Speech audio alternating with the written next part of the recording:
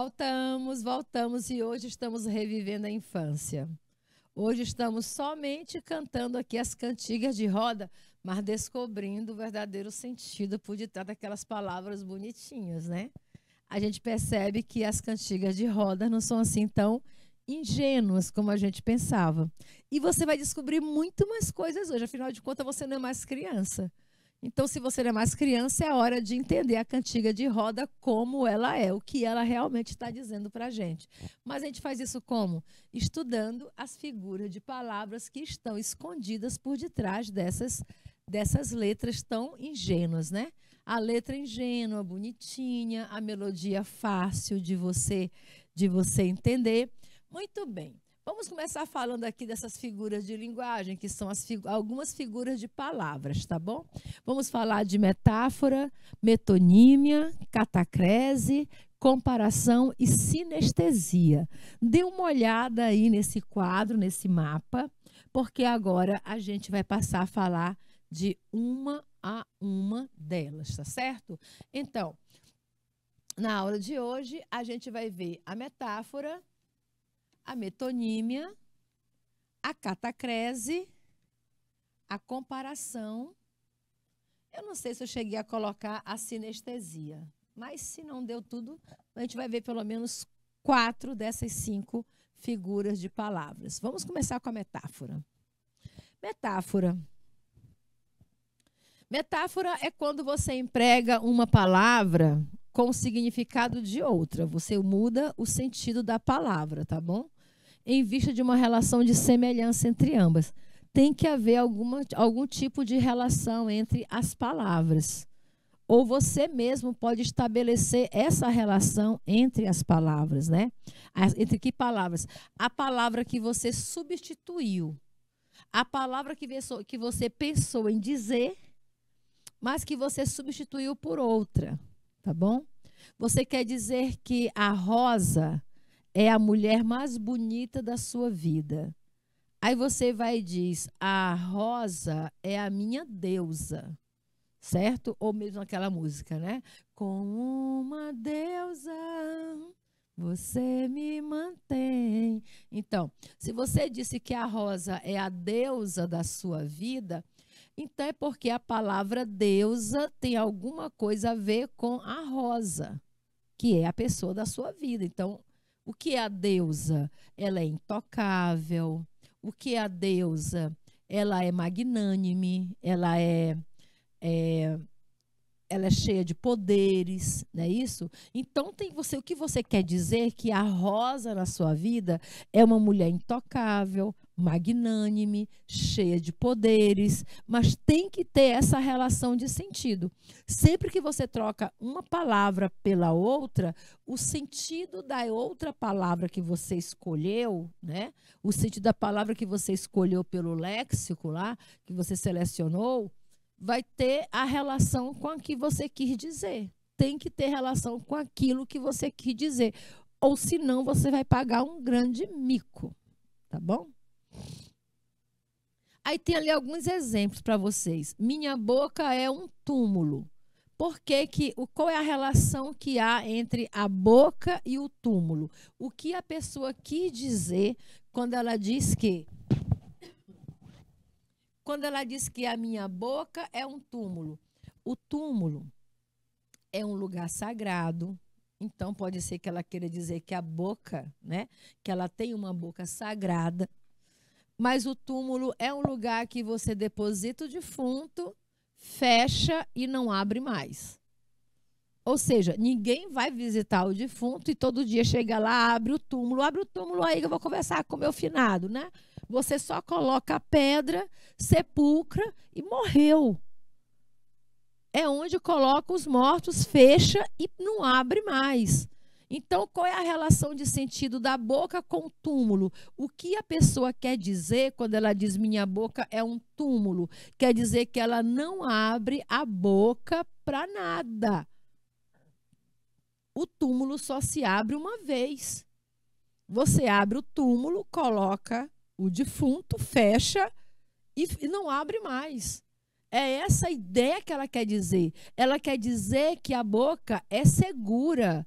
Ela quer dizer que a boca guarda segredos, que ela jamais vai revelar alguma coisa, que ela não abre a boca para todo mundo, que ela não fala demais, entendeu? Tem essa relação. Então, a relação de sentido, o sentido que ela quis dizer é essa.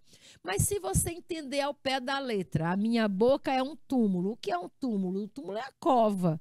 É onde coloca os corpos mortos, onde os corpos apodrecem.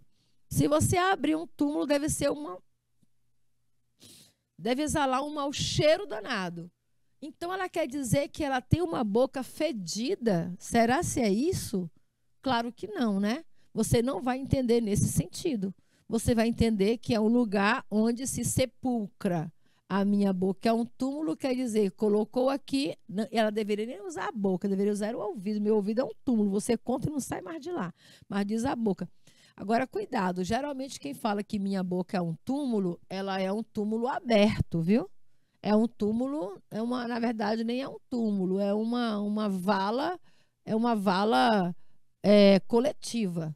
Fica lá aberto, ao céu aberto lá, para quem quiser jogar o que quiser lá dentro. Então tenham muito cuidado com quem anda falando essas coisas aí, é porque não merece o seu crédito. Na outra frase, a pessoa diz: Seus olhos são luzes brilhantes. Olha aí, ó. Seus olhos são luzes brilhantes. Aí tu vai imaginar que os olhos da pessoa são luzes. Sabe o que são luzes? Ai, professora, eu sei, aquele efeito que a gente faz no cabelo e fica assim que nem o seu, aloirado, né? Não, não são essas luzes, não. Luzes são lâmpadas, entendeu? Luzes aí, no caso, são lâmpadas. Então você vai imaginar que realmente os olhos da menina são duas lâmpadas. Você já imagina então uma lâmpada de LED em cada olho dela. Se você fizer isso, você vai estar é, você vai estar interpretando o texto, a frase, ao pé da letra. Ou seja, você está levando para o sentido denotativo. Quando, na real, você deveria entender no sentido conotativo. Ou seja, você tem que dar um novo sentido a isso. Quando diz seus olhos são luzes brilhantes, quer dizer que os olhos dela brilham demais. Ela tem olhos brilhantes. Ela só quer dizer isso. Olha, seus olhos são brilhantes. Só, mas brilhantes também, né? Aquela, se eu falar que seus olhos são brilhantes, brilhantes pode ser também aquele, aquele metal precioso raro, né? Aquela pedra preciosa, raríssima, que é o brilhante né? São luzes brilhantes, luzes que brilham. É isso que ela quer dizer, tá bom? Como se porque tem olhos vívidos, né?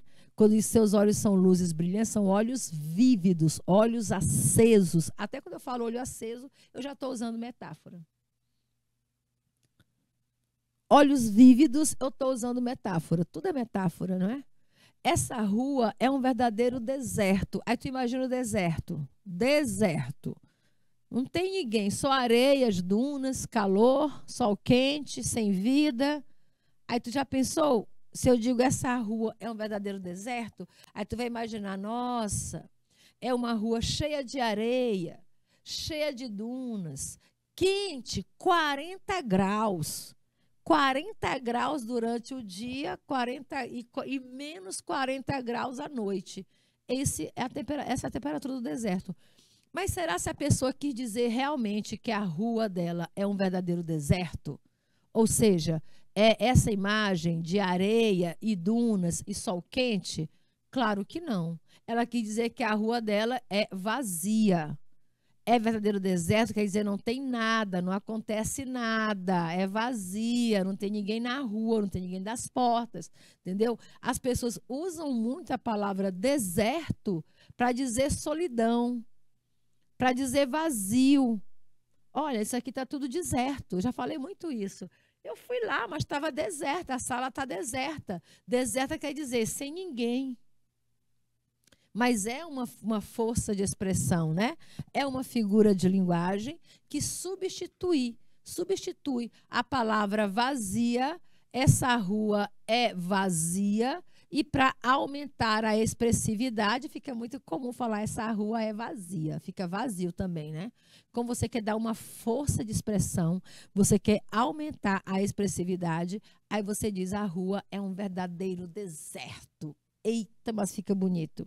Então, é mais bonito você dizer minha boca é um túmulo do que você dizer a minha boca guarda segredos, tá? A minha boca é um, uma guardiã de segredos.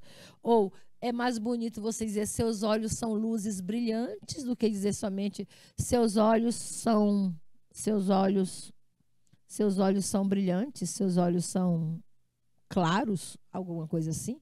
Essa rua é um verdadeiro deserto, é melhor do que você dizer essa rua é vazia ou a rua está vazia. Então, a metáfora é isso.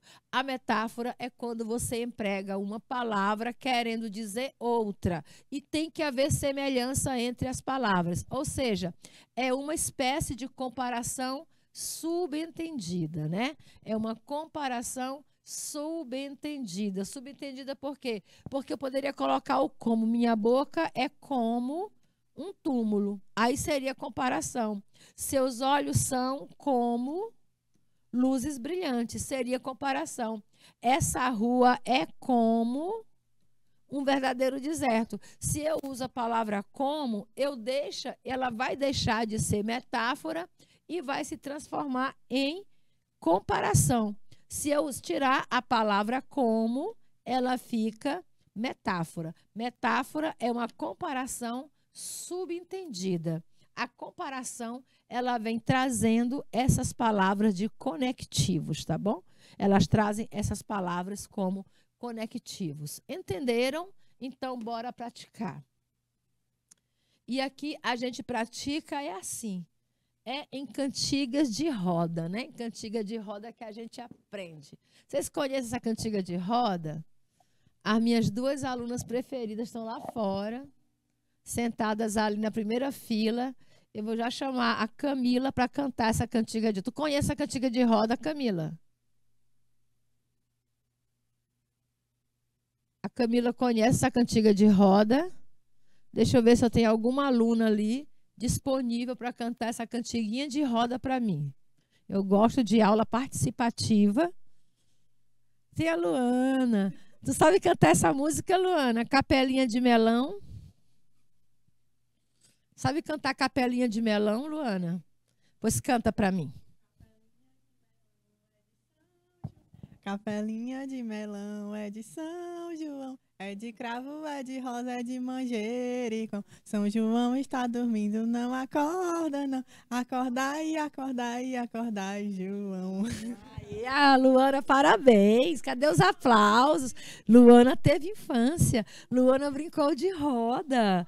E voltamos nós para as cantiguinhas de roda. Viu, viu, Camila? Você não teve infância. Camila pulou essa etapa, pulou a fase, né, Camila? A Mariana também pulou dessa fase, não foi, Mariana? Somente a somente a a Luana sabia cantar essa música. O que é que vocês faziam? Estudavam, né? Muito. Estudavam muito. Só a Luana teve infância, cantou Capelinha de Melão. Gente, Parem para pensar na mensagem que passa essas cantiguinhas e associadas às imagens também, não é? Capelinha de melão. O que será uma capelinha de melão, hein? É de São João, é de cravo, é de rosa, é de manjericão. São João está dormindo. Olha aqui o velhinho dormindo mesmo. E aqui é um velhinho. Observa os cachinhos aqui na cabecinha dele, a barba, né? É um velhinho. São João está dormindo, não acorda não. Acordai, acordai, acordai, João. E o João não acorda. Então, vamos agora entender ao pé da letra ou no sentido metafórico. A gente tem que sempre compreender uma canção, uma cantiga, um poema, uma letra de música, como no sentido conotativo, no sentido figurado. Capelinha de melão é de São João. Você já associa essa cantiga a um período festivo da nossa cultura, não, não associa? Qual é o período festivo? Ô Mariana, qual é o período festivo que a gente associa essa cantiga? As festas juninas? É. Pensei que você fosse falar que era o Natal. A gente associa com as festas juninas, né? É de São João, é de cravo. Aí tem toda a mitologia de São João, não tem? Qual é a função de São João? Dizem que São, São João é o guardador da porta do céu, não é não? Não é ele não, não, que guarda a porta do céu, São Pedro, né? Estou confundindo o santo aqui. Mas o São João tem também uma mitologia em torno dele. Então, a capelinha é de melão, ela é de São João, ela é de cravo, ela é de rosa, de manjericão. Observem só, cravo, rosa são flores, né? Plantas. Manjericão também é uma planta, só que assim, manjericão tem aquele cheiro mais comestível, né? Mais, é, vamos dizer, acre. O cravo também, um cheiro bem amargo, a rosa não, a rosa é suave, né? Suave. São João tá dormindo, não acorda não, coitado. Ficou desesperado que o São João não consegue acordar. Vamos às questões. A figura de linguagem consiste ao longo do poema canção, né? Consistente, desculpa. A figura de linguagem consistente ao longo do poema canção tem a função de a figura que foi usada em capelinha de melão ela tem a função de fazer uma comparação direta entre a capelinha e os outros elementos. Ora, ela pega a capelinha, né? O que é uma capelinha? Uma igrejinha. Capelinha é uma igrejinha, gente. Aqui está falando de uma pequena igreja. Aquelas capelas que a gente tem, às vezes, até dentro de casa, no oratório, né? Então, ela pega a capelinha e associa a vários elementos. Primeiro, ela fala que a capelinha é de melão. Depois, ela diz que a capelinha é de São João, que a capelinha é de cravo, é de rosa, é de manjericão. Ela pega a capelinha e associa ao melão, São João, cravo, rosa, manjericão. Ela vai associando esses elementos indiretamente. A questão aqui é que diz que fez uma comparação direta. Direta é como você diz assim, capelinha de melão, né? É de São João, é como de São João, é como de cravo, é como de rosa. Se ela usasse elementos comparativos direto, aí seria direta. Fazer uma comparação indireta entre a capelinha e os outros elementos. Foi o que foi feito. Comparou a capelinha com o melão, o São João, o cravo, a rosa e o manjericão. Então, ela fez uma comparação indireta entre a capelinha e os seus elementos, tá certo? Por isso que a gente marca aqui a letra B. Letra C. Dividir e representar a capelinha em partes como representativo de um todo. A capelinha não está dividida em partes, tá bom? Dividir em partes seria uma metonímia. E aqui não, aqui não tem a metonímia, somente uma comparação. Capelinha é feita, né?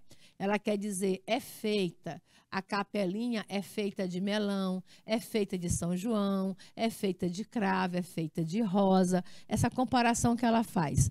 Fazer uma alusão indireta com teor crítico. Não tem teor crítico nas cantigas. Ah, tem cantiga de roda que tem teor crítico, tá bom? Mas essa aqui é sem teor crítico. É somente uma cantiguinha mesmo de, é, de período né, de período representativo da cultura brasileira, principalmente o período de São João. Não acorda, não acorda, né?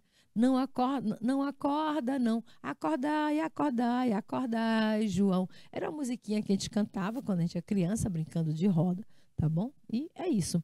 A estrutura sintática, observa só. A estrutura sintática que se observa no texto com a repetição dos mesmos termos, verso 2, 3 e 4. Aqui, ó. Verso 2, verso 3, verso 4, repete a mesma estrutura. É de São João, é de cravo, é de rosa. Essa repetição é de, é de, é de, é de, consiste também numa figura de linguagem. Que, aliás, eu já trabalhei com vocês em outros momentos e em outras aulas, quando eu falei que é a repetição da mesma estrutura sintática. Eu até cantava essa música aqui para representar para vocês é pau, é pedra, é o fim do caminho. Quando o texto usa a mesma estrutura sintática, olha, ela usa de novo aqui, ó, acordai, acordai, né? Repete a mesma estrutura sintática. Aí você, aí você percebe, bem, se repete a mesma estrutura sintática, como a professora falou, olha, estrutura sintática. Então, é uma figura de linguagem que atua no campo de construção. Logo, metáfora não é campo de construção, é campo dos sentidos. A metáfora trabalha com os sentidos. A metonímia também trabalha com os sentidos. Então, não é uma figura sintática. O eufemismo, o eufemismo trabalha no campo das ideias, do pensamento. Eufemismo trabalha no campo do pensamento, igual a ironia. Logo, o que sobrou no campo sintático, ou seja, da estrutura do texto. Olha, repetição, repetição da mesma estrutura sintática, você chama isso de anáfora, tá bom? Repetiu a mesma estrutura sintática, você chama isso de anáfora. Professora, eu posso fazer isso num texto do Enem? Eu posso colocar. É por isso que o Brasil não vai para frente. É por isso que o Brasil está na miséria. É por isso que o Brasil tem muito desempregado. Você não pode fazer isso. Colocou a mesma estrutura sintática três vezes na redação do Enem, você perde 40 pontos, tá bom? Deu de graça para a banca 40 pontos. Não pode. Aqui só pode fazer porque é figura de linguagem. E lembrem-se, crianças, lembrem-se: figura de linguagem é licença poética licença poética. Porque, no fundo, no fundo, a gramática normativa não aprova. Não funciona desse jeito na gramática. É uma licença poética, é uma permissão, é uma permissão que a língua portuguesa concede, né? Então, ela concede que a gente use essa licença poética apenas para textos de caráter poético, como é o caso como é o caso dos anúncios publicitários, como é o caso da literatura, da música. Aí pode usar a licença poética. Vamos lá. Próxima figura de linguagem. Vamos entender o que é uma prosopopeia. O nome parece bastante difícil, à primeira vista, né? Para quem vê a primeira vez o nome prosopopeia até se espanta. Mas prosopopeia, queridos, é uma figura de linguagem pela qual são atribuídos sentimentos. Olha, vou grifar isso aqui para vocês porque eu sei que é importante. Mais tarde vocês vão me agradecer quando tiverem que estudar, tá bom? Então, é, é a prosopopeia, a figura de linguagem pelo meio da qual são atribuídos sentimentos, comportamentos, ideias humanas aos seres inanimados, a animais, etc. Ela também é chamada de personificação. Personificação. Você chama de prosopopeia, mas também pode chamar de personificação. Atribui, em resumo, resumindo, a prosopopeia atribui características características humanas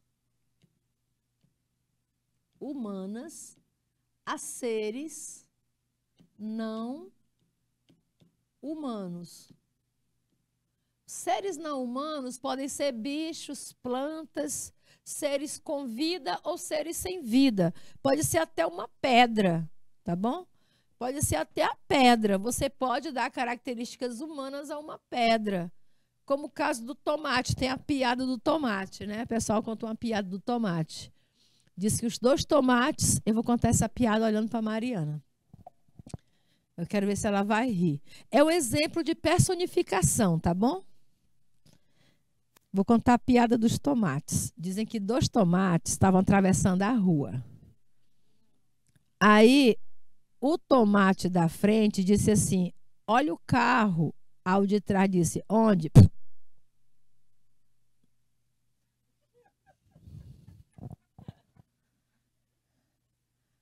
Por que, que ocorreu prosopopeia? Porque, primeiro, o tomate não atravessa a rua. Porque o tomate não diz para o outro. E o outro tomate não responde. Eles estão com características humanas, né? O tomate atravessa a rua e diz para o outro: Olha o carro. Aí o de trás pateta diz: Onde? Aí virou purê. Entendeu? Então, isso é prosopopeia.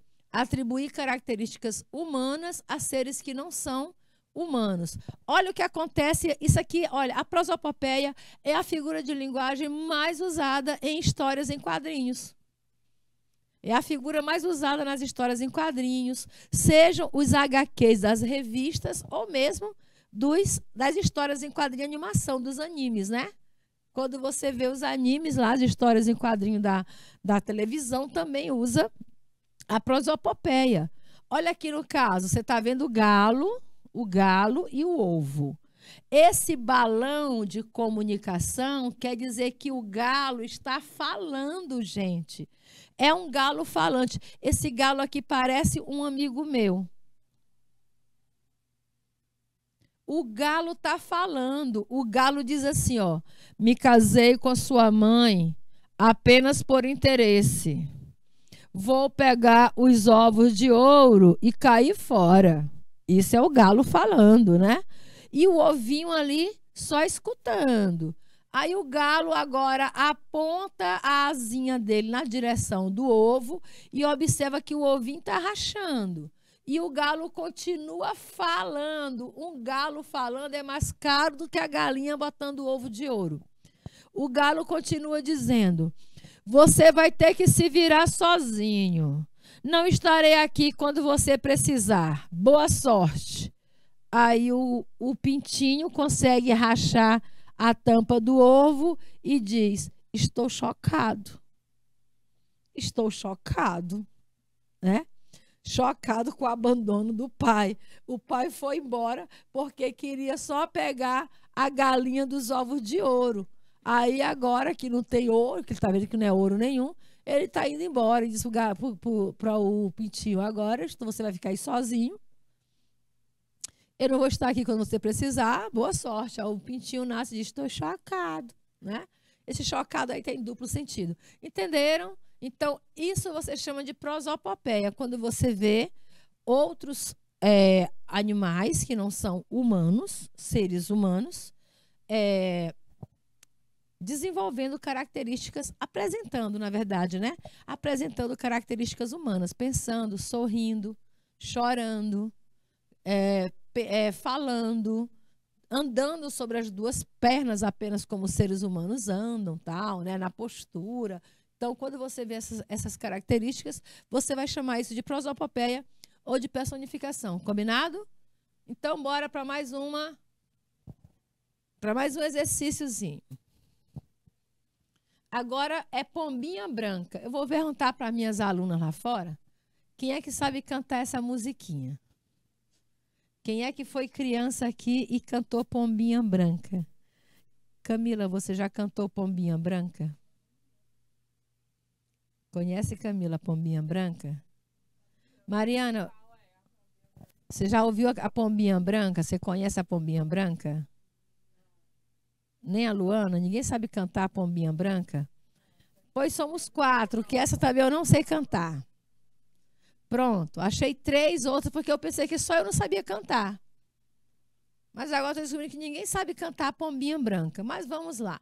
Foi tirada aqui, olha, da turminha da Mônica, né? A turminha da Mônica dançando roda aí, brincando de roda.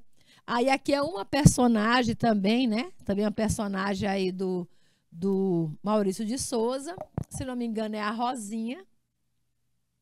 E ela está tirando foto aqui com a câmera ó, de uma pombinha branca. Pombinha branca, o que está fazendo? Eu vou colocar aqui o acento, tá? Pombinha branca, o que está fazendo? Lavando roupa para o casamento. Vou me lavar, vou me secar. Vou pra janela pra namorar. Passou um moço de terno branco, chapéu de lado, meu namorado. Mandei entrar, mandei sentar. Cuspiu no chão, limpa aí seu porcalhão. Ixi, Maria, ele era um porcalhão mesmo, né?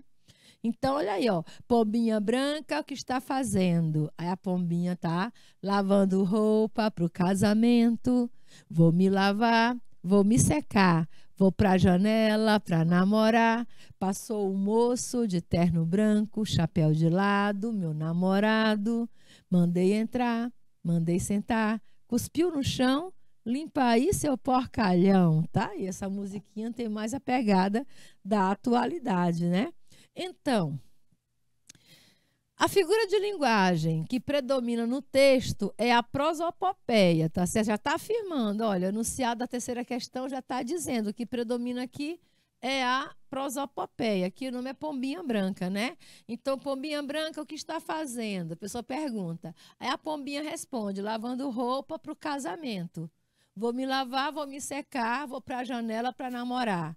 Aí a moto já passou o moço de terno branco, chapéu de lado, meu namorado. Mandei entrar, mandei sentar. Cuspiu no chão, limpa aí seu porcalhão, tá bom? Então, tá aí. É um diálogozinho entre uma menina, uma pessoa, provavelmente uma moça, né? Já que está esperando aqui o namorado, né? Ela espera o namorado, ela quer se casar de branca, tal, tal. Então, você já percebe aí que é uma menina, moça, esperando pelo namorado. E aí ela chama a pombinha branca, né? Ela chama a pombinha para fazer para ficar ali com ela. Ô, pombinha branca, o que está fazendo? A pombinha já está lavando a roupa para o casamento. Ela está se preparando para casar. Quer dizer que vai sair casamento aí dessa relação. Então, você tem aí uma figura de linguagem que predomina no texto, é a prosopopeia, porque compara os termos diretamente. Quem compara os termos diretamente é a comparação. Comparação é que compara os termos diretamente. Ai, você arrasou minha vida como um furacão. Né? Então, comparou com furacão, já é uma comparação. Usa expressões a atribuir valores a um ser por não haver outra forma. Aí você chama isso aqui de catacrese. A catacrese, ela usa certas expressões para atribuir a um ser, porque não tem outra forma de você chamar. É como as pessoas chamam. Por exemplo, perna de mesa. Por que, é que você chama perna? Mesa tem perna? Não tem, né? Mas chama perna da mesa, braço da cadeira, braço do sofá. Entendeu? Aí isso, isso você chama de catacrese. É porque não tem outra forma. Você vai chamar de. Como é que a gente chama? Bico do bully. Vou perguntar para as meninas lá se elas, têm, se elas conhecem alguma outra palavra que você pode falar, senão bico de bully. Mariana está de São João do Piauí, né? Ou oh, a Camila. Camila de São João. Camila, lá em São João do Piauí, como é que o pessoal chama bico de bully? Bico do bully. É. Conhece outra forma de chamar bico do bullying, Luana? Mas também tem um bico da chaleira, não tem? Tem a boca da chaleira, tem um bico e a asa. A azeia, a asa, né? Xícara também, a asa da xícara, né? Mas ela não tem asa. Ele não tem boca. Ele não tem bico. Mas não tem outra palavra para usar, né? Então a gente chama isso aqui que a gente chama de catacrese. É a mesma coisa de falar céu da boca, só que tem nome, não tem? É o palatário, não? Palato. Batata da perna é panturrilha. Agora que a gente começa a descobrir, entendeu? Vai que tem nome para boca da o nome específico, né? Para o bico, bico do bule. boca da garrafa. A música é vai dançando na boquinha da garrafa, né? Boquinha da garrafa. Garrafa não tem boca, não tem boca garrafa. Então são essas expressões que a gente não encontra uma palavra correspondente a elas, então é o jeito usado daquele, daquela forma que você chama de catacrese, entendeu? Então, não é catacrese. A letra C diz que a figura de linguagem é a prosopopeia, porque repete constantemente os sons de uma certa consoante ou de uma certa vogal. Não tem nem repetição de consoante. Se fosse consoante, era aliteração. Quando repete o som da consoante, é a literação. O rato roeu a roupa do rei de Roma. Quando repete o som da vogal, é a sonância. Assonância. E no caso aí não ocorreu nenhuma nem outra, né? Assonância na música baiana. Aê, aê, aê, aê, ei, ei, ei, ei. Aí haja, haja, haja vogal, gente. Pageu do Piauí participando da aula. Então, por eliminação, a gente vai ficar com a letra D, que diz o quê? Que diz que é uma prosopopeia porque atribui características humanas a seres que não são humanos, que no caso é quem? A pombinha branca, né? E novamente não funcionou o efeito, mas é letra D. Por eliminação, letra D. Vamos à quarta questão. No último verso, ela diz assim, ó, limpa aí seu porcalhão. Ih, chamou o namorado de porco, né? Limpa aí seu porcalhão. Apareceu outra figura de linguagem. Chamar a pessoa pela sua qualidade. Eu não vou chamar a Mônica de Mônica, eu vou chamá-la de dentuça, porque é uma qualidade da Mônica, tá bom? O Cascão, as pessoas chamam ele de porquinho, né? O Cascão é um porco. Por quê? Porque ele anda sujo. Então, é quando eu pego uma parte pelo todo. Eu pego uma qualidade e uso como se fosse o todo. Aí você chama isso de que figura de linguagem você traduz a parte pelo todo. Você chama isso de não é a catacrese, que a catacrese eu acabei de explicar aqui para vocês. Não é metáfora. Sai daí, limpa aí, seu porcalhão. Olha, aqui poderia ser uma metonímia, mas como não tem metonímia, então vai ser uma ironia. Não, metáfora, olha só. Sai daí, seu porcalhão. Esse porcalhão deveria ser uma metonímia e não uma metáfora. Teve um errinho aqui, tá bom? Vamos lá. Mas assim, em sentido lato, quando a gente fala lato, sentido geral, tinha um professor meu que dizia o seguinte: todas as figuras de linguagem são metáforas, Ildalene. Então, tudo bem, professor, vai que é isso. Figuras de linguagem, eufemismo. Vamos falar do eufemismo? O eufemismo é uma figura de linguagem branda, suave, eu gosto até, tá bom? Porque tem certas horas que você não pode dizer o que você realmente quer dizer. Então você termina dizendo aquilo por outras palavras, certo? Hoje morreu, por exemplo, o Guilherme de Pádua, ontem, né? Ontem morreu o, o ex-ator Guilherme de Pádua, acusado aí do assassinato da atriz Daniela Pérez. Aí tinha muita coisa que eu queria dizer no meu pensamento, mas eu só disse assim: que Deus, que ele vá para onde ele merece, né?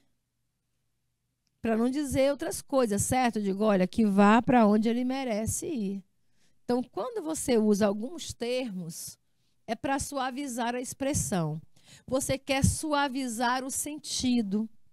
Você quer reduzir a carga negativa que, daquilo que você quer falar.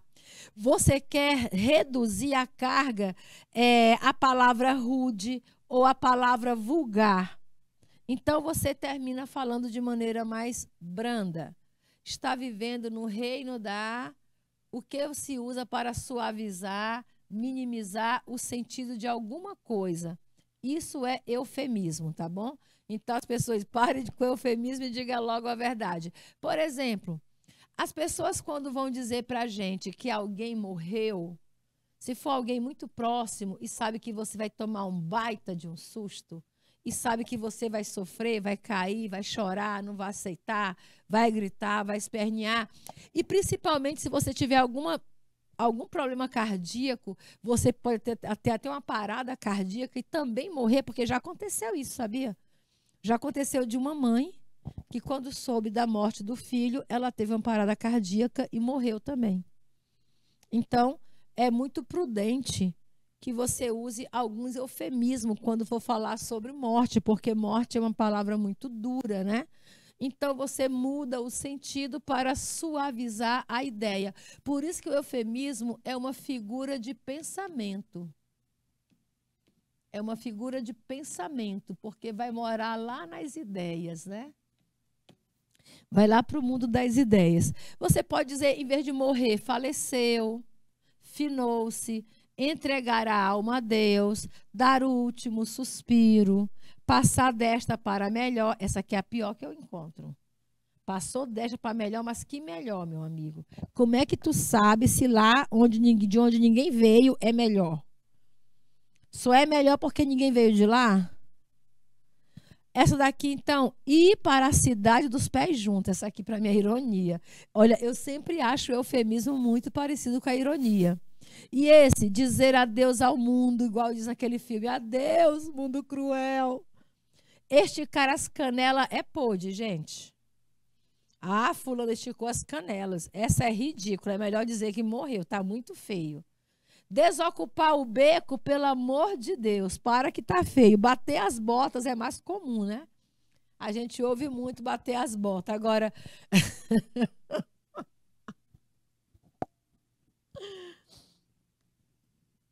Desocupar o beco eu nunca tinha visto para dizer que morreu. Fulano desocupou o beco. É muito, é muito triste isso. Olha, é melhor chegar e dizer morreu, partiu. Mas quando é para criança, a gente assim foi para o céu, né? Né, Luana? Quando, quando é para criança, virou uma estrelinha, foi para o céu, borboletinha, né? Agora, tu já ouviu falar de desocupou o beco como morte? Mas é triste, isso é ironia. Essa daí é a perversidade. Entenderam? Então é para você suavizar. Bora dar tempo para ler o texto? O cravo e a rosa. O cravo brigou com a rosa debaixo de uma sacada. O cravo ficou ferido e a rosa despedaçada o cravo. Gente, todo mundo conhece essa cantiga. A pergunta é: na cantiga em análise foi usada uma figura de linguagem cuja função é a qual? A função é atribuir características humanas aos seres que não são humanos, que foi usado a personificação. E o eufemismo dessa cantiga consiste na ideia de quê? De suavizar a agressão entre homem e mulher. Porque se você observar no cravo brigou com a rosa, é uma agressão. O cravo é o masculino, a rosa é o feminino e há uma agressão entre homem e mulher nessa cantiga e suavizou através dessas palavras. Hoje falamos de figuras de linguagem nas cantigas de roda. Eu, a gente faz revisão na quinta-feira e eu desejo a vocês uma boa semana de aula. Até quarta.